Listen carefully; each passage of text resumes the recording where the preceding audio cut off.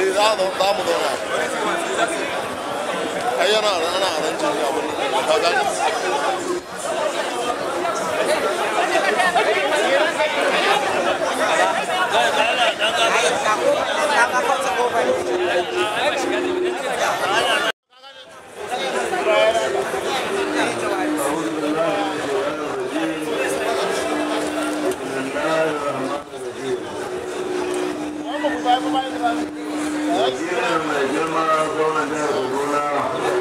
Ai ba zai yi zauna na da ba. Ba zai yi zauna.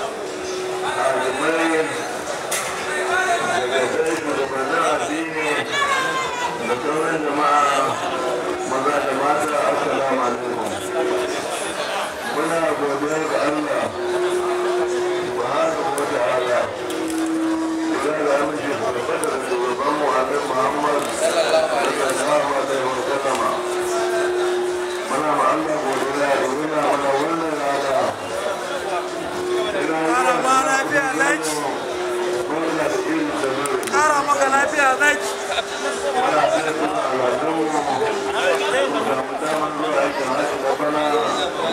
zama da aikin haji lafiya Allah ya sa mu yi haji da gobe Allah ya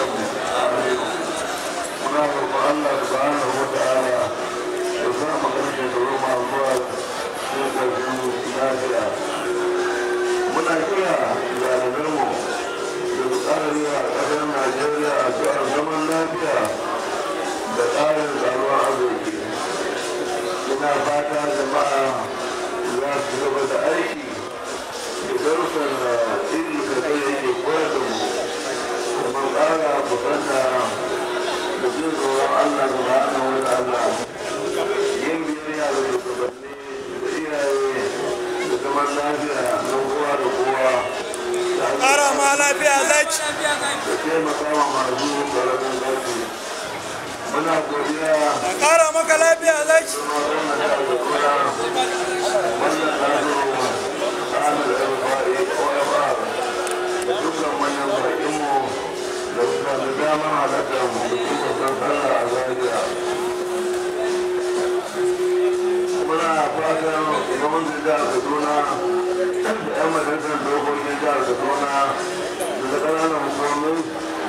Taimakon jama'a mu.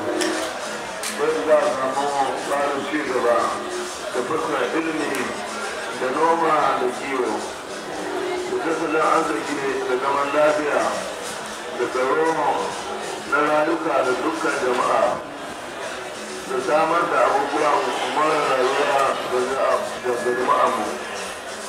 Muna godiya ga Allah subhanahu wa ta'ala da ya albarkace mu da samun ruwan sama.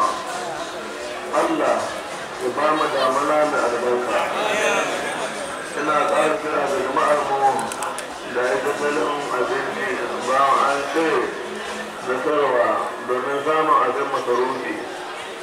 Ba kuma gwamnati da Kaduna da ƙananan hukumai su yi ranar kayan amfanin gona a farashi mai kyau domin jama'a mu lokacin da buƙatar yin haka ya taso bisa rahusa ina so in ɗauki wannan dama mu tsara kira da jama'ar mu da fulani musamman da manoma duk da suke ƙasan gado da sauran garuka da ita tattalin zaman lafiya da juna. Ku ci gaba da girma ra'ayin juna ba tare da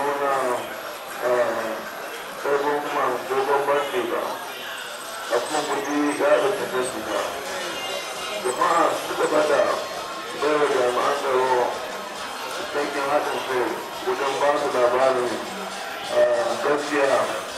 Yadda za su samu damar kyautata ma tsaro. Rayuwar mutane da dukiyarsu. A halin da ake ciki jama'a suna cikin kwatsuwa da rikin abubuwan kyautata rayuwa. Don haka muna kira da gwamnatin tarayya da gwamnatin jihar kaduna a duba da za a taimaki jama'a kamar da ya kamata. Ko da yake allah subhanahu wa ta'ala ya zaɓi a kaduna tsaye da cikin jihohi da aka samu nasarar kawar da cutar kan inna wato polio da sauran cutuka da ke samun ƙananan yara.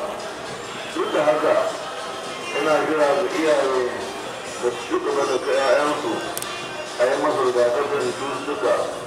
Domin samun cikakken matsala da tabbatar da an kawar da polio baki ɗaya.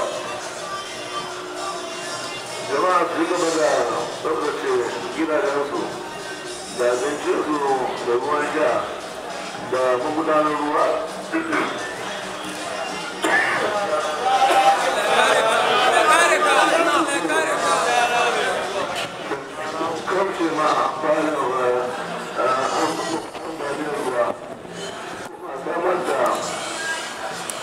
Kuma a tare da hukuma idan an samu labarin bulgar kowace irin ciwo cikin hangari domin samun magunguna.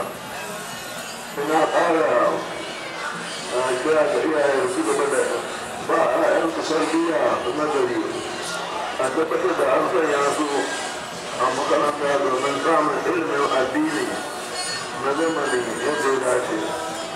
Kuma a sa ido sosai kawar da shaye-shaye abubuwa wanda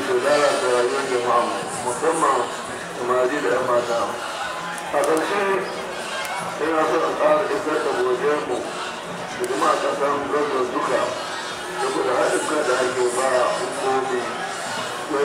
samun damar yin jagorancin da haɗin kai sosai duka shugabanni su ɗauki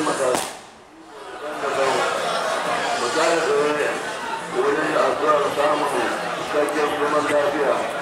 Da arziki da ci gaban jihar kaduna da ƙarshen ku najeriya baki da ina ƙara da wakilin mai girma gwamnan jihar kaduna ma nasiru ahmed el rufai ba da dukkan zaria yadda gobe lafiya Allah kuma da